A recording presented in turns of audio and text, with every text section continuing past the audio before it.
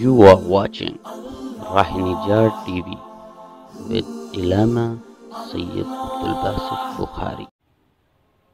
एक बुज़ुर्ग गुजरे हज़रत शकीक बल्खी अलैह। बहुत बड़ा नाम है। रखते सफ़र बाँध चुके थे।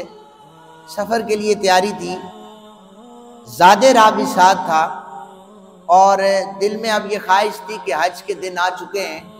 तो मैं भी बैतुल्ला का तवाफ़ करने चला जाऊँ ये कितनी खुशी की बात होती है, कितनी खुशी के लम्हात होते हैं। जब कोई शख्स अल्लाह रब्ज़ुलजलाल के घर की जियारत करने के लिए निकलता है, शकीक बल्कि ने बल्कि ने अपने साथ लोगों को भी तैयार किया।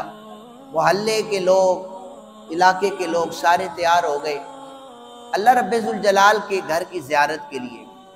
लेकिन अचानक खबर ये फैल गई कि शकीक बल्खी ने हज का इरादा तर्क कर दिया है।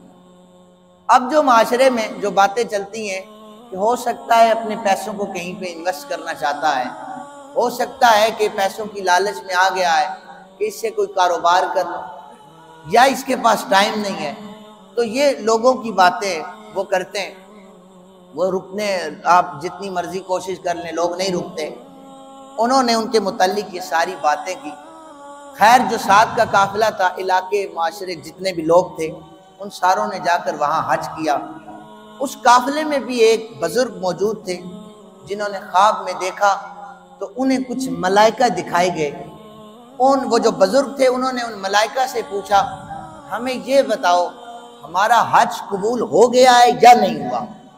फरिश्ते कहने लगे कि, आपका हज अल्लाह ने इस साल जितने लोग आप आए ना अल्लाह ने सब का हज कबूल कर लिया है। उन्होंने पूछा कि, ऐसी हमारी कौन सी अदा अल्लाह को पसंद आई है कि अल्लाह ने हमारा हज कबूल कर लिया है?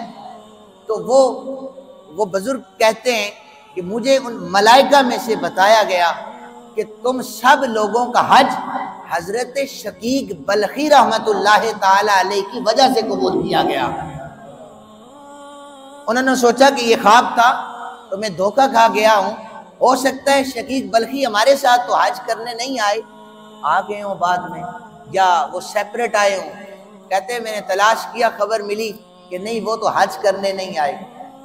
हम जब दोबारा अपने इलाके में आए तो दिल में कशमकश थी, खटका सा लगा हुआ था। उसकी वजह से हज कबूल हुआ है, जो खुद हज करने नहीं आया। और उसे अल्लाह ने हज मबरूर का सवाब अता किया है।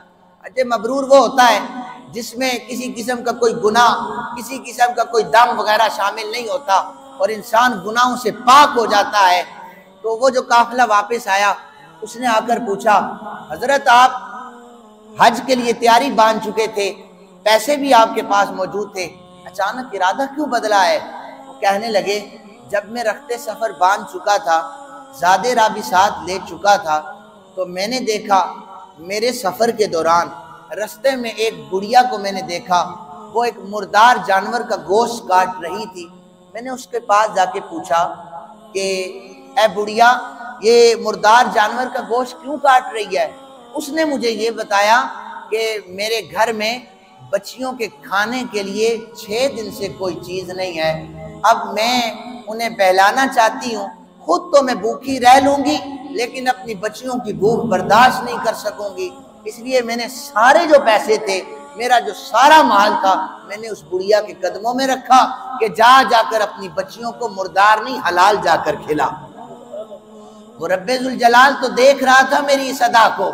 मैंने कहा, हज ज़िंदगी में फिर कर लूँगा, लेकिन अल्लाह की मखलूम को मुर्दार नहीं खिला सकता। और मेरी आँखों के सामने ये अमल हो रहा है। मुझसे रहा ना गया। सारे पैसे मैंने उस बुढ़िया को दे दिए। तो वो बुज़ुर्ग मुबारकबाद देने लगे। कि आपको अल्लाह ने हज का सवाब भी अता किया है, आपके सदके से अल्लाह ने हमारे हज को भी कबूल कर दिया है।